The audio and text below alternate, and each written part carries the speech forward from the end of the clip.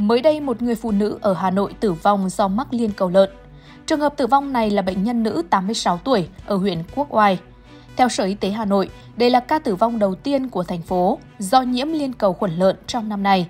Bệnh nhân khởi phát với triệu chứng sốt cao, đau đầu, lờ mờ, được gia đình đưa đến Bệnh viện Quân y 103. Tại đây, bệnh nhân được chỉ định nhập viện điều trị nội trú và xét nghiệm cấy máu dịch não tủy. Kết quả bệnh nhân dương tính với vi khuẩn liên cầu lợn. Dù được điều trị tích cực nhưng do tuổi cao, bệnh diễn biến nặng nên bệnh nhân đã không qua khỏi. Bệnh liên cầu lợn do vi khuẩn Streptococcus suis gây nên là bệnh lây truyền từ động vật sang người và có thể gây tử vong. Người bệnh thường có triệu chứng lâm sàng nặng, phải điều trị trong thời gian dài, chi phí điều trị lớn và thường để lại biến chứng không phục hồi sau khi khỏi bệnh.